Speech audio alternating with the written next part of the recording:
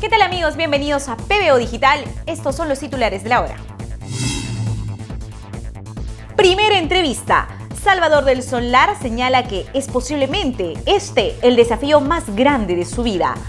El flamante titular de la presidencia del Consejo de Ministros agradeció a César Villanueva Arevalo por su desempeño al mando del gabinete ministerial y señaló que emprenderá un trabajo en equipo. Caso Cócteles. Jaime Yoshiyama fue recluido en el penal Castro Castro para cumplir prisión preventiva. El ex secretario general de Fuerza Popular, Jaime Yoshiyama Tanaka, regresó al Perú el último domingo tras permanecer prófugo durante cuatro meses. Caso Odebrecht. Espinola habría confirmado que pagó 100 mil dólares a Alan García por orden de Odebrecht. El abogado brasileño José Américo Vieira Espinola habría señalado durante el interrogatorio al que fue sometido por el fiscal José Domingo Pérez que su estudio jurídico le pagó 100 mil dólares al expresidente Aprista por una conferencia por una orden de la constructora brasileña.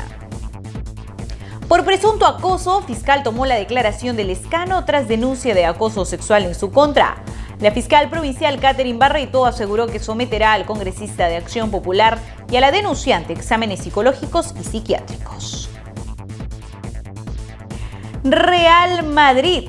Zinedine Zidane volvió a convertirse en DT merengue. El francés se convirtió nuevamente en el entrenador del Real Madrid nueve meses después de su renuncia, luego que Santiago Solari fuera destituido por la crisis en la que se hundió el equipo merengue.